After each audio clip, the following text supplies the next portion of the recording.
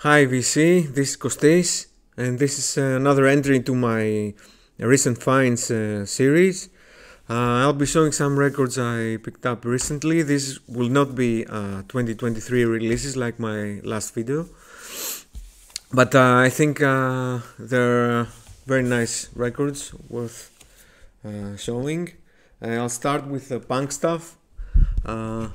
this is Generación uh, Suicida, a punk band from LA. Uh, this is their record from two, uh, 2016 called Sombras. Um, it was released in on uh, Doomtown Records, Symphony of Destruction Records, um, Drunken Sailor Records, and Sabotage Records. Uh, but actually, this is, I think, this is my version, the, the EU version. Uh, this was actually first released on Going Underground Records, which uh, I know from uh, Vinyl Richie is uh, also uh, a label and a record uh, a record store in Bakersfield, California.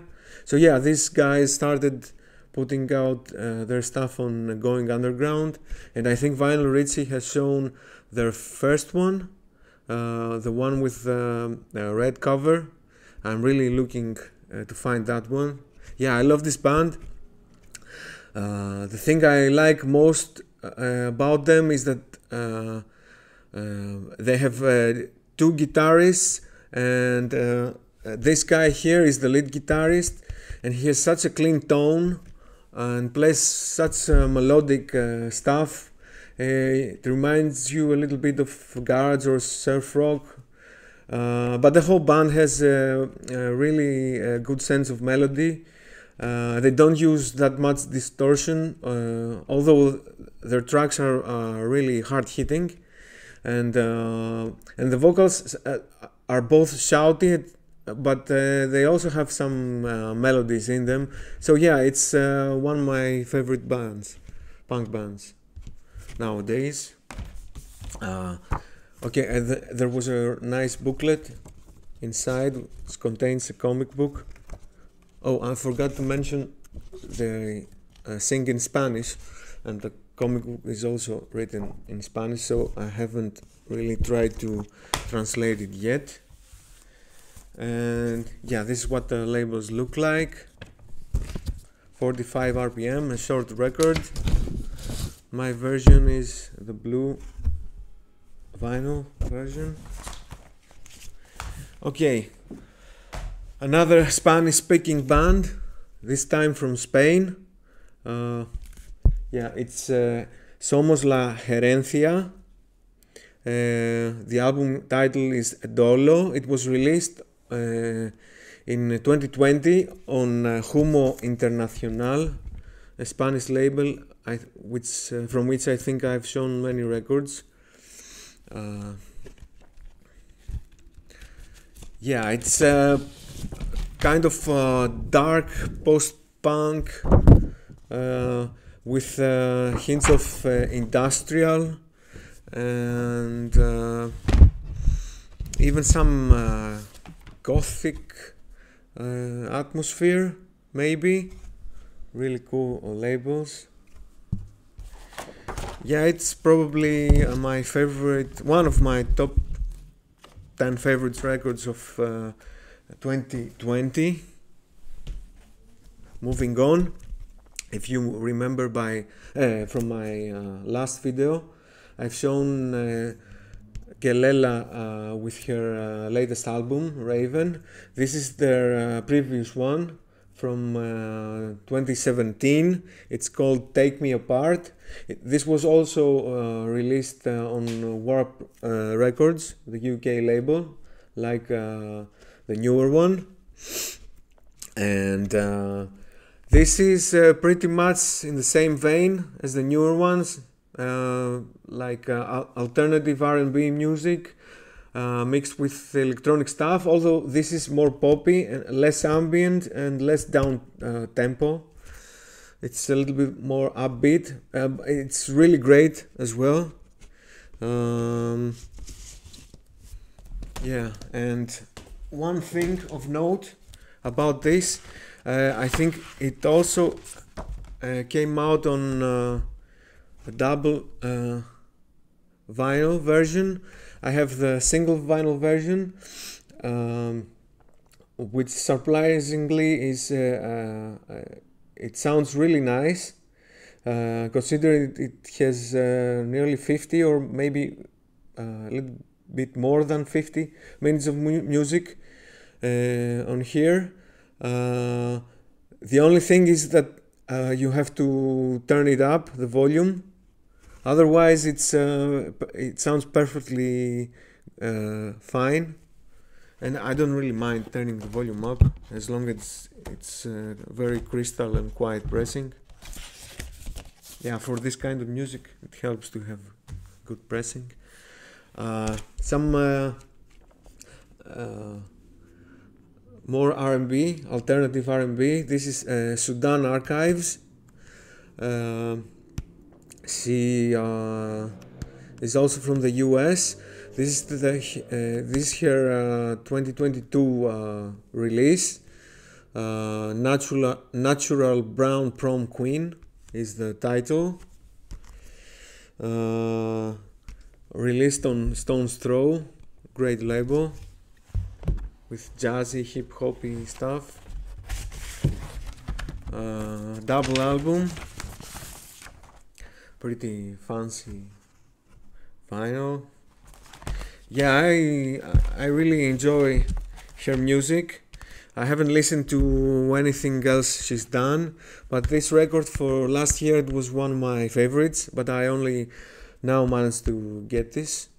Um, yeah, the uh, one interesting thing about her is that she plays the violin, and um, many tracks uh, have uh, vinyl uh, uh, violin uh, passages, and uh, some tracks are actually uh, written upon uh, uh, violin melodies. Uh, yeah, uh, very interesting.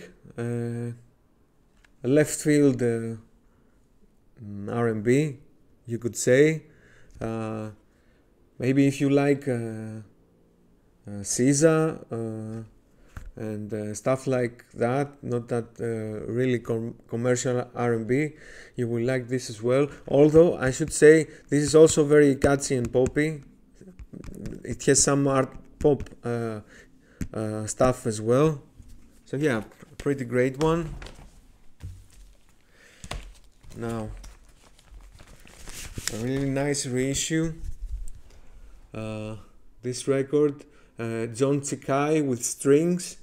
Uh, this was a record originally released on CD uh, in 2005, I think. Uh, and uh, I have been looking for either the CD or this reissue for uh, quite a while. Actually, no, I wasn't aware this was reissued on vinyl for the first time, and I just saw it on my local record store, and I immediately grabbed this. So, uh, John uh, Tchicai is uh, a saxophonist from the US. He free jazz saxophonist. He has played with John Coltrane and lots of lots of other great musicians from the, the 60s and 70s. Uh, he came uh, in Europe. Uh, I think he was living in Sweden for a long time to you know continue his uh, career like so many free jazz musicians from the 60s did. And eventually he came back. And yeah he is uh, he has sadly passed away of course. Uh, uh, or not.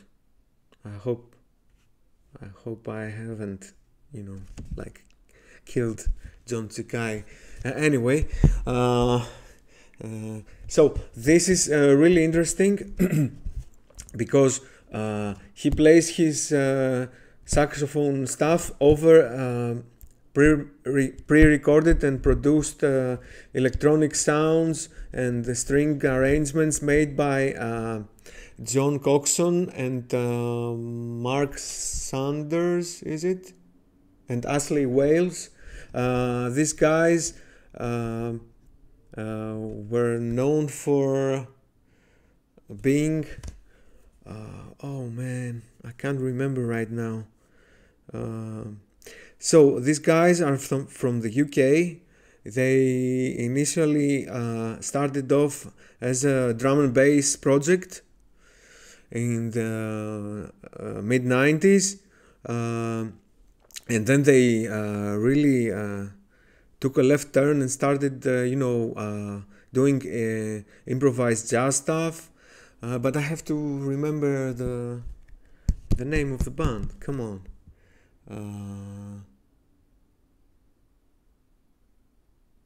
Spring Heel Jack. Okay, I remembered. Yeah, Spring Heel Jack. So uh, they they have done many great productions uh, with other jazz musicians as well. Um, lots of stuff on the label Thirsty Ear. This is a label called uh. If you can see here, yeah, really great. Uh, uh, mellow uh, but uh, really interesting quirky jazz uh, some some some of this is really melodic i mean don't let free jazz tag uh, put you off uh, yeah i can't remember the correct expression don't let it turn you away from this. Uh, it's uh, quite uh, an easy listen, considering it's uh, uh, free jazzy. And yeah, the the the labels are pretty plain.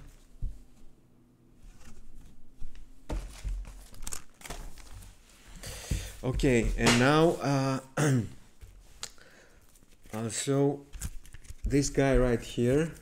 Now this is a little more uh, uh, difficult as a listen not that uh, because this guy here J.H. Guraj I think he's from uh, no I better not say because I'm not really sure where he's from maybe from Hungary but yeah not sure anyway uh, he's a guitarist uh, he plays experimental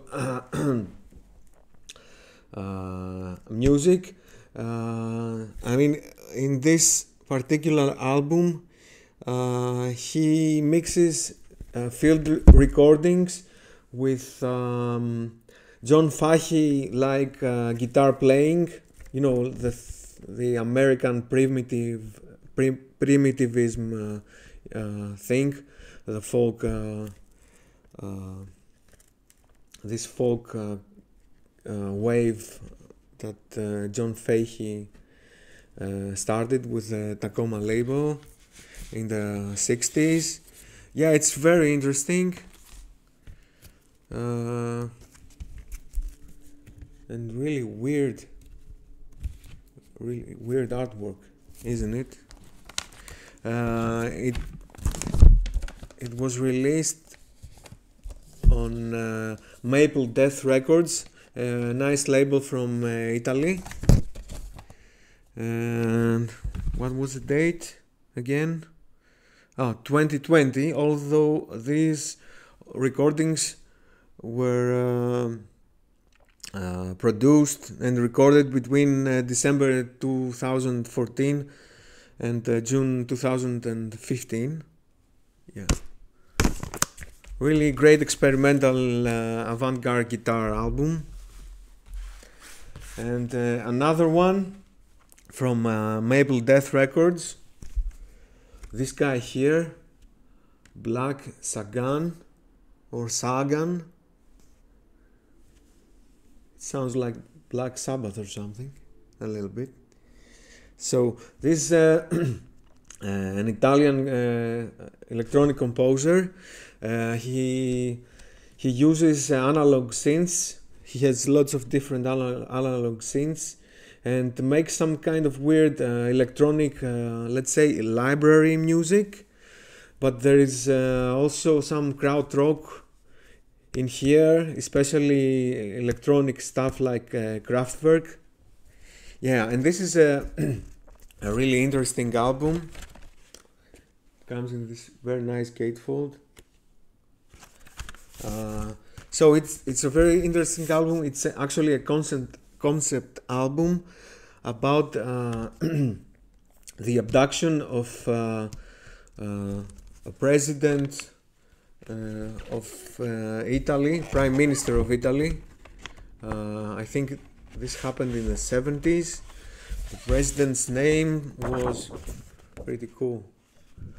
inner Aldo Moro, yes, by the Red Brigade, the organization, uh, the terrorist organization Red Brigade in the 70s. And uh, yeah, it's pretty interesting. Uh, uh a long album, double album. Uh, uh, really spacey, spooky, weird stuff going on. And I also his first one on CD, his first release uh, a personal voyage it's called. It's pretty much uh, uh in the same vein as uh, the other one. Uh, although maybe a little bit more um, easier to get into. I mean this one yeah, I didn't say, uh, didn't pronounce the title, uh, but I don't think I can do it justice. So yeah, this one, uh, it's really interesting, but uh, I had to listen to it uh, uh, maybe three times to really get into it. I I listened this on Bandcamp.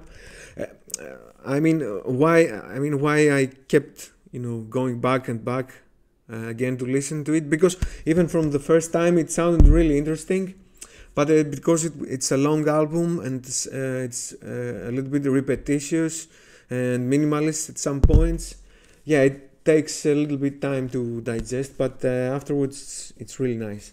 So these were my uh, latest finds. Hope you enjoyed and see you on the next one in the next one